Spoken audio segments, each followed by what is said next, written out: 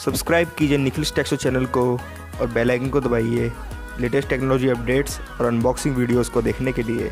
Welcome back to channel guys this is Nikhil Prajapati and you guys are watching Nikhil tech show तो guys आज हम बात करने वाले हैं पाँच ऐसे बहुत ही बेहतरीन ईयरफोन्स के बारे में जो कि मिलेंगे आपको अमेजोन पे पाँच सौ रुपये की रेंज के अंदर।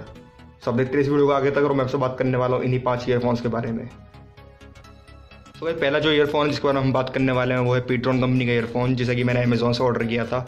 ये मुझे पड़ा था लगभग पाँच सौ रुपये का। तो ये है ईयरफोन मैं ज़रा खोल के दिखा देता हूँ उसे। और इसके अंदर मुझे कुछ एक्स्ट्रा ईयरबड्स और एक क्लिप मिली थी। सो कुछ इस तरह का दिखता है ईयरफोन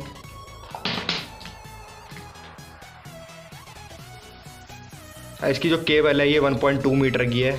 और जो इसके ऑडियो जैक है, ये 3.5 पॉइंट का ऑडियो जैक है। जो गोल्ड प्लेटेड है। बाकी ये आप गेमिंग के लिए, के हिसाब से सबसे बेहतर ईयरफोन है।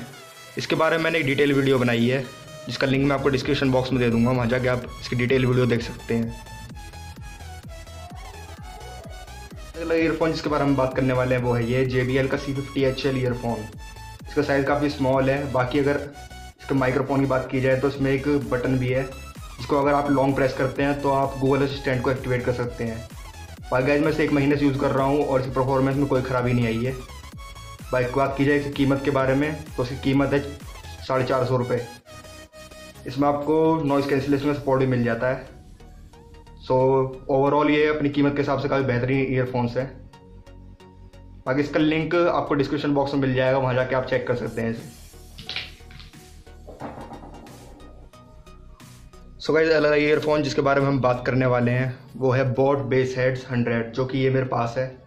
ये काफ़ी सिंपल ऑर्डिनरी और फंक्शनल ईयरफोन है। इसके अलावा इसकी बिल्ड क्वालिटी काफ़ी डिसेंट है। तो गाइस इसकी साउंड की बात की जाए तो ये काफ़ी क्लियर और लाउड है।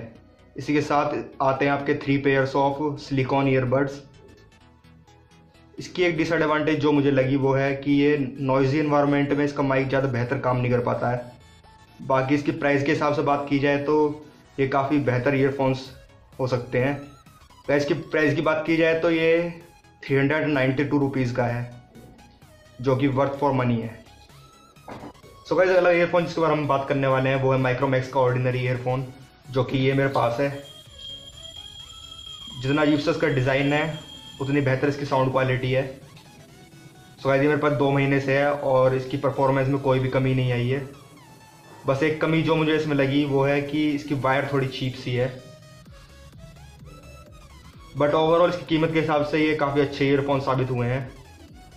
तो गाइज़ अगर इसकी कीमत की बात की जाए तो ये है one hundred and ninety nine rupees के अमेजोन साइट पे। इसका भी लिंक मैं आपको डिस्क्रिप्शन बॉक्स में दे दूँगा। वहाँ पर जाके सब आप बाय कर सकते हैं।